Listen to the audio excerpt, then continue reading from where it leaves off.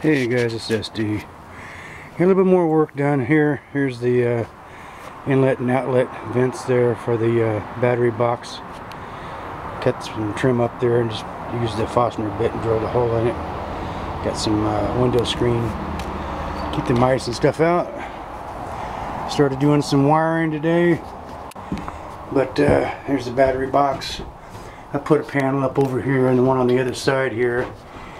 And I got a little storage shed up above there.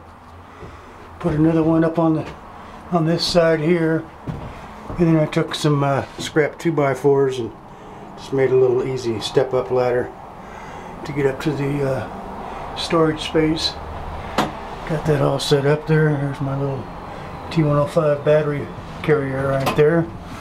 And we got Missouri wind and solar controller all hooked up. We're in 12 volt mode. Still trying to decide if I want to go 24 or, what, but 20, 12 volt right now. I've got the inverters for that. Don't have the solar panels hooked up. That's the next little job. Hopefully I can try to get it all wired up this evening. But I came off from the batteries with some uh, uh, Zero AWG. It's a uh, OFC, oxygen-free uh, copper high current cable. Should be able to carry quite a bit of amps. Just tied it off there, come in here to the battery, use the same kind of connections to the batteries.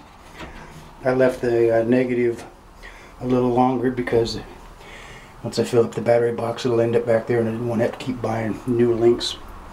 So that should work okay. Put a little petroleum jelly on each of the connections and snug them down to where they're nice and tight there.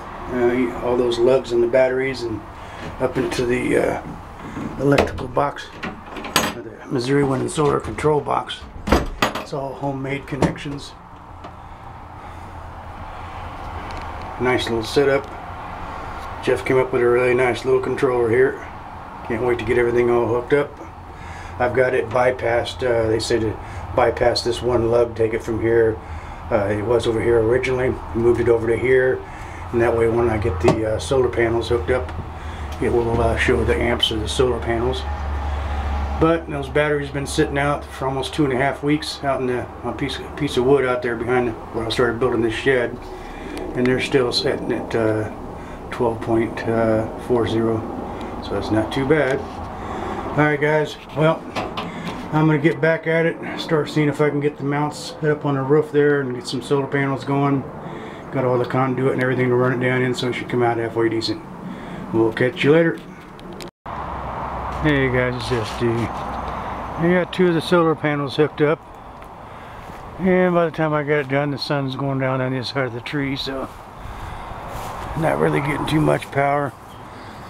But uh, we got the uh, little Missouri wind and solar setup hooked up.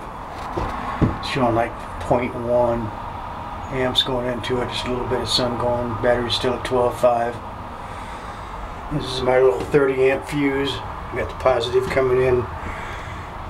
Dedicated runs from each panel using number 10 wire to a bus bar. Then I got a uh, number 10 going over to the fuse, from the fuse, through the fuse, and up into the panel. And this is the negative side over here. So we'll get a little video of this going tomorrow. Just wanted to show you I got a little bit more done today.